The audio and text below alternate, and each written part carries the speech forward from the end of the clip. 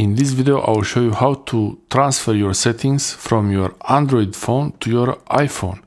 I have here my Sony Xperia 1 Mark V and on the right side I have the iPhone 16 Pro Max and the new case. So I'll use both phones but I want to be able to use the iPhone with the apps I have on the Android. So that's going to be hopefully working as it should. The iPhone is showing the greeting, the hello greeting, so that's it's ready to be set up. There is enough battery, so there is enough battery on the iPhone and there is enough battery on the Android and it's always good to have a charger nearby. And I installed the move to iOS app. This is from Apple on the Android phone. There is a privacy policy I have to agree I guess. So it's easy to switch from Android to iOS. They also have another app to switch from iOS to Android. Photos videos albums. Actually I don't want to move photos. If you use Google Photos back up your photos before transferring. Okay so I should I should back up. Actually what I'm going to do I'll move all the pictures and videos out from my Android phone so it reduces the chances that this is going to take forever um, I always keep the files I, I move them to the computer I back them up to a folder so that the phone doesn't have to be full of pictures and videos. So I will move the pictures and videos and get back now. Okay so I started the computer. Plug in. After I plug in the USB the default for my Xperia is to access the files. So it's going to start uh, the files will be accessible and I will move them from the computer right now. Okay so I plug in the phone. It shows here. And I have this folder where I put before I copied the pictures from the iPhone I took a few pictures then I had a I did a reset of the iPhone. And that's the internal storage of the Android phone the Xperia and I'll go to the DCIM folder. So I'll move the screenshots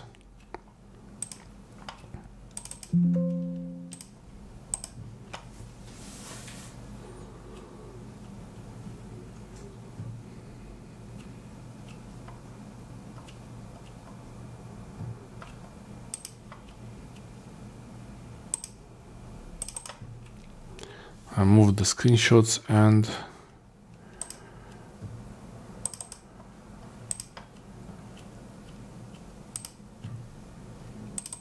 this is empty videography pro photography pro cut. Move these two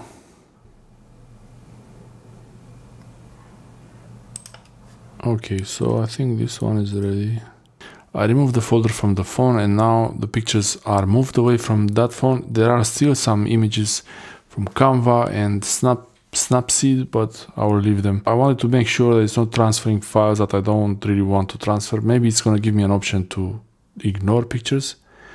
Move to iOS. It's easy to switch from Android to iOS. Okay, we'll see about that. Restore apps and by signing into your Apple account photos and videos is retransferred. I don't really want that. And let's see continue. Terms and conditions I guess there's gonna be a long story to read all this so I accept by default. Send app data usage. They give me the option not to send it so I'll not send it. Allow app location permission.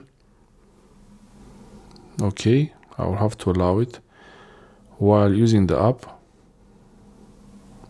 turn on notification okay allow and oh interesting. So I can connect the phone directly to the oh that's interesting okay maybe I have to set them up or I have this phone I have this cable which is a fast USB 3.2 cable and I guess I could try to use this. I will start the setup for the iPhone. Okay, I'll plug in the charging cable on the iPhone just to be sure. So I'll start charging the iPhone. 64%. English, okay, I'll choose the default region, Cyprus, and default, looking for nearby devices. It's just charging, so I'll do, I don't know what it's doing, it keeps resetting to this.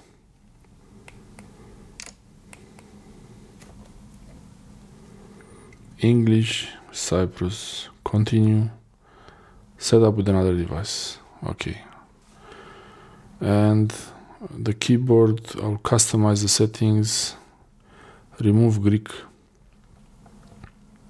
I can add later later another keyboard. Uh, okay, Romanian. I'll add it.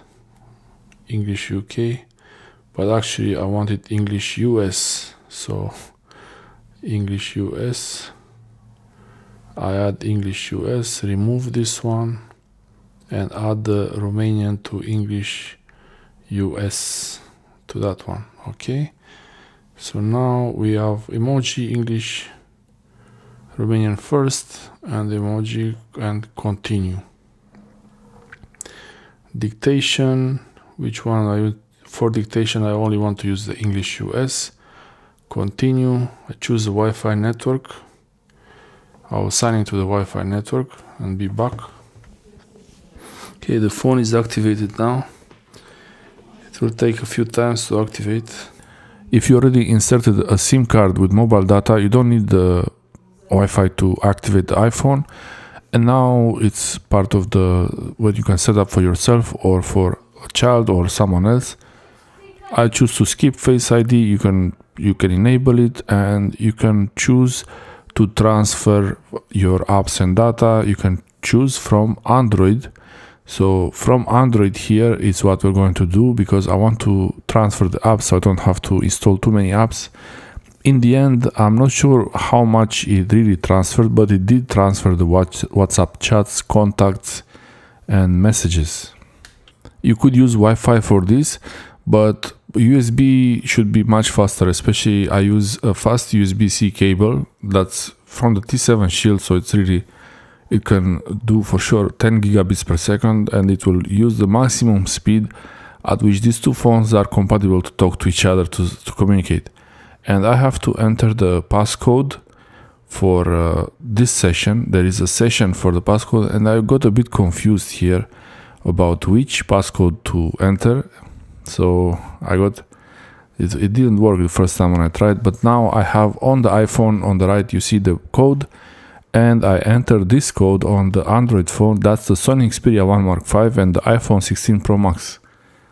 And now they will have some kind of a session. This is for security, for safety, to make sure that it's your device transferring to also your device and not someone else trying to extract the information from your phone and now the phones are communicating the android phone communicating with the iphone and i can choose to move messages contacts call history events even the google accounts about the google account it was a bit strange because i still had to sign in again on the iphone and i'm not sure if it really did anything and i chose not to copy the photos or actually the photos they were not there were not many photos. There were no photos anyway. So um, the photos can make this very long. I mean, it's gonna uh, increase the time of this uh, it's taking.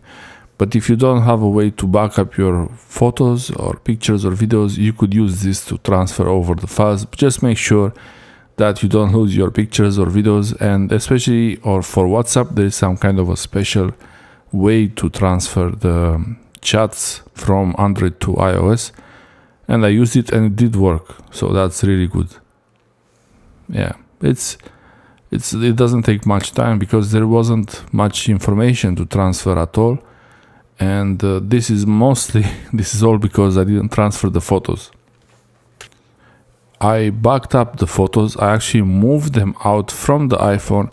I moved them out from the Android, and you should do this too also you should have your photos copied outside from your phone and to onto two drives hard disk external hard disk or external ssd it's always better to have them like this and if you need to use the photos from your phone you can have a copy on your phone but it's good to have a, another copy on another device.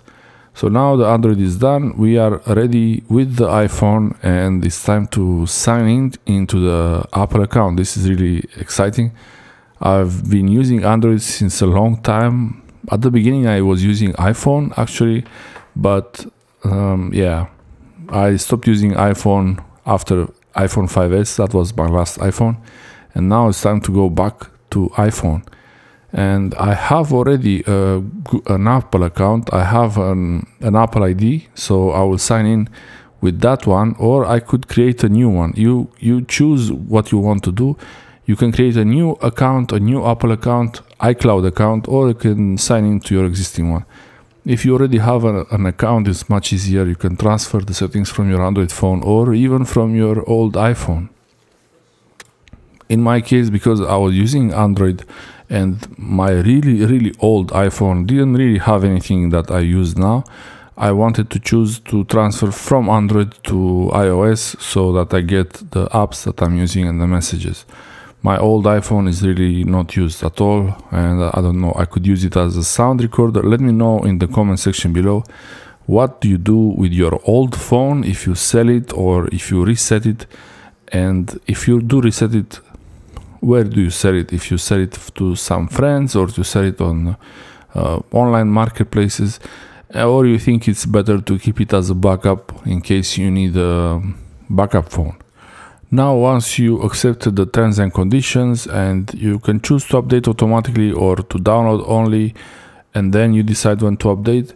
Also location services, they're pretty important. I believe you need to use a Google Maps or Apple Maps or whatever it's called now.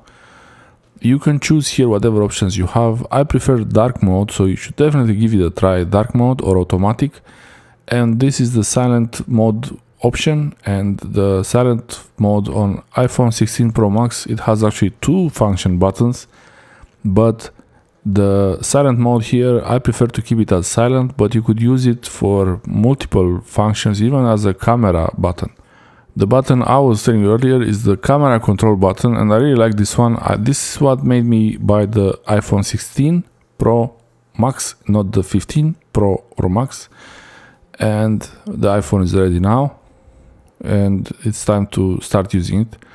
You can use the iPhone, you can install the apps, extra apps you might want, but after you did this transfer from Android, you will actually see that there will be apps installing and you will have the call history, the messages, you you will have many things on the iPhone the same way you had them on your Android. But some apps will not be able to work also you get the FaceTime and iMessage which is nice. This is the global version of the iPhone 16 Pro Max A3296 and you get FaceTime, iMessage, TikTok, anything. In the EU, I don't know, we never had the problem to install TikTok. And I tried to start the Amazon Amazon app here and it doesn't work and uh, yeah you can choose to enable or disable personalized ads. I usually try to disable them if i want if i can if they allow me. But um, yeah sometimes you might want to have personalized content so it's something that you want and not generic. But this is a matter of preference here.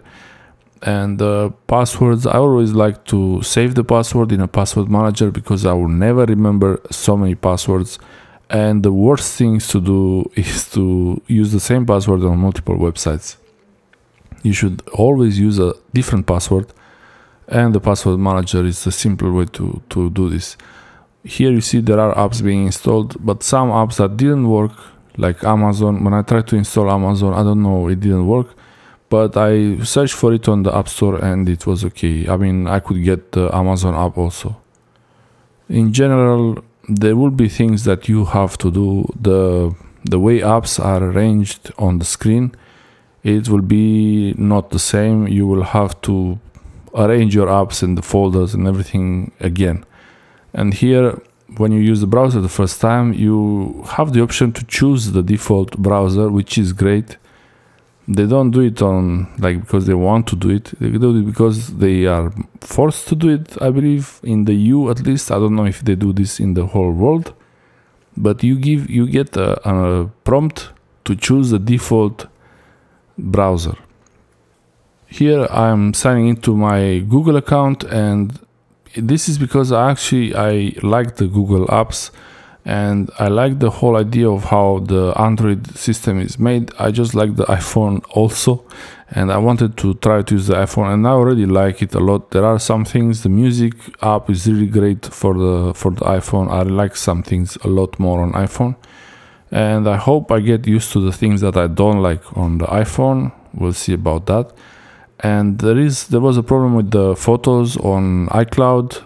The the problem with the photos in iCloud is that you only get five gigabytes of storage space in iCloud, and your phone it's at least uh, this phone this is the iPhone 16 Pro Max 256 gigas. So if you're backing up all your photos to iCloud, you will run out of space very fast.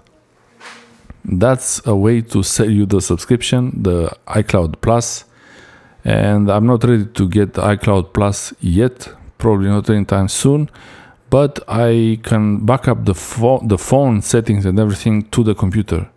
And uh, for now, I back up to iCloud, but without the photos. The photos I actually prefer to keep them to move them to the computer once in a while and not to have too many files, too many photos on the phone in case the phone I lose the phone or it gets damaged so there is not too many photos lost. Uh, without iCloud is convenient, but also I had some issues. Sometimes it was not syncing. I don't know. There was something strange. Thanks for watching. I hope this helps you set up your iPhone from an Android phone.